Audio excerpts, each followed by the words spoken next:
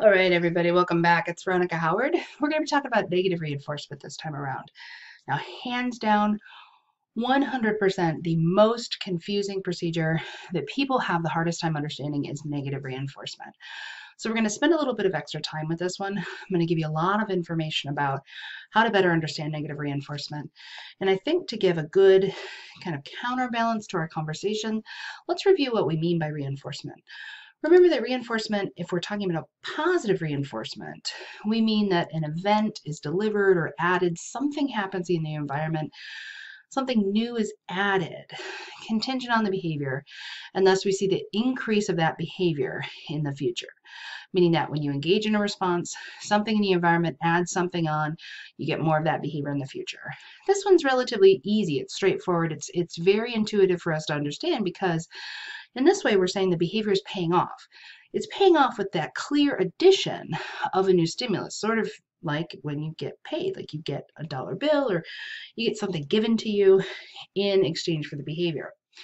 The reason that negative reinforcement is so confusing for a lot of people is that it's kind of the opposite. What happens is when the target behavior occurs, an event is actually terminated. So what that means is I engage in the response, an event, something in the environment is either terminated, it's stopped, or it's prevented from ever happening, contingent on my behavior. And then I do more of that behavior in the future. A perfect example of this right now, actually, I'm, I'm feeling pretty ill, was just diagnosed with influenza, and I have a history of really bad upper respiratory infections and some problems with my lungs. So I have an albuterol inhaler. Albuterol is a perfect example of negative reinforcement because you're starting to have that asthma attack and you get that kind of like, you use the asthma inhaler and it immediately terminates the asthma attack. So you escape or avoid that unpleasant thing from happening. And that's kind of the crux of negative reinforcement. The two words that I want you to be thinking about here are escape and avoid. Because when we're talking about negative reinforcement procedures, we're talking about behaviors that allow us to escape or terminate a negative reinforcer or an aversive stimulus after it's been presented, or it's a behavior that allows us to avoid the delivery of that stimulus ever being presented. So remember, name of the game in negative reinforcement is escape or avoid. Let's do a few examples just to try to help clarify what I mean by this. So if I were to say, Johnny here pays all of his bills on time so that he doesn't have to pay a late fee, what is this an example of? Is this escape or is this avoidance? This seems to be a better example of avoidance because he's preventing the fees from ever happening. If the fee was already there and he like wanted to talk to the manager and he tried to explain it so that maybe they would take the fee away, that's escape. But it hasn't happened yet. And Johnny's engaging in a behavior so that it never gets delivered. And there will be another video explaining some of the different examples of escape and avoidance. So if this is something that you're struggling with, be sure to check out that video. Part of the difficulty with negative reinforcement is that most of our incredibly powerful behaviors are maintained through negative reinforcement and it's really really hard to see because people work so hard to escape or more importantly to avoid a thing that you'll never even see coming that you you actually never see the stimulus maintaining that response right? People work so hard all the time to avoid things that, that never actually happen, that this one is the hardest procedure to understand.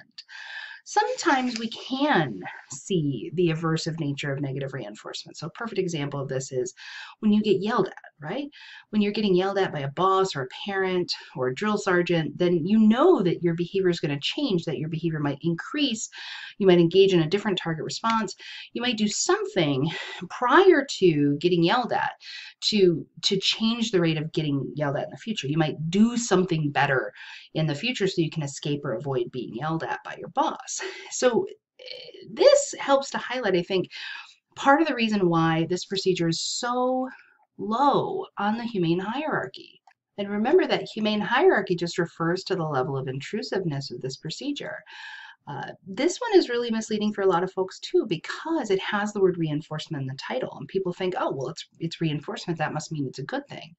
But no, look, actually, negative reinforcement is way down here with other behavior deceleration techniques like extinction, which we haven't talked about yet, and negative punishment. Like this is a very aversive procedure. I mean, look at this. If we're, we're doing stuff to avoid getting in trouble with people, if we're working to escape or avoid the delivery of a noxious stimulus of something that's aversive, you can see it's incredibly aversive.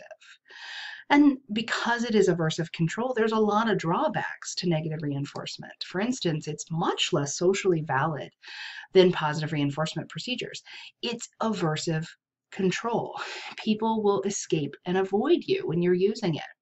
We also know that just like punishment, the use of negative reinforcement can be addictive, it can be coercive. People will default to it. One of the, the examples that I like to give in class is that I know that I personally come off as kind of a Karen and I will sometimes leverage that power of like, let me speak to your manager. Like I'll sometimes leverage that energy into getting stuff done. But every time I do that, I have to recognize the fact that I am using aversive control. And every time I'm doing that, I'm actually establishing myself as an aversive stimulus, which means people are going to want to escape and avoid me because I'm associated with that negative reinforcement procedure. Because remember, I'm pairing myself with an aversive stimulus, and it, it's definitely going to work, but it's going to work in the short term, and it's only really going to work as long as I'm around to make it happen. So remember, behavior change only changes enough to actually avoid aversive consequences. This is one of the biggest drawbacks of negative reinforcement is that even though it works, it's a really poor investment for your time. Uh, I'd actually like to tell you about something called discretionary effort. So discretionary effort, I think, could be one of our best kept secrets in behavior analysis. It's this idea of what you get from people who are, are contacting negative reinforcement displayed here in this lower curve, this red curve. This is sometimes referred to as the have to do curve. This is the amount that you have to do to escape or avoid getting in trouble. And so you see that people really only just barely exceed the minimum requirements for not getting in trouble. But like I'm showing with this top curve or this green curve, when we use positive reinforcement, we tend to capitalize on people's desire to want to do well. People will give us a lot more. They'll they'll give us way more behavior. And so you see this disparity in the amount of effort or performance. It's called discretionary effort. When you can use positive reinforcement rather than negative reinforcement, you are going to not only be getting a much better return on your investment, but there are going to be so many other better side effects that are produced. So remember, you are not an aversive stimulus. Uh, you are not having a person escape or avoid you.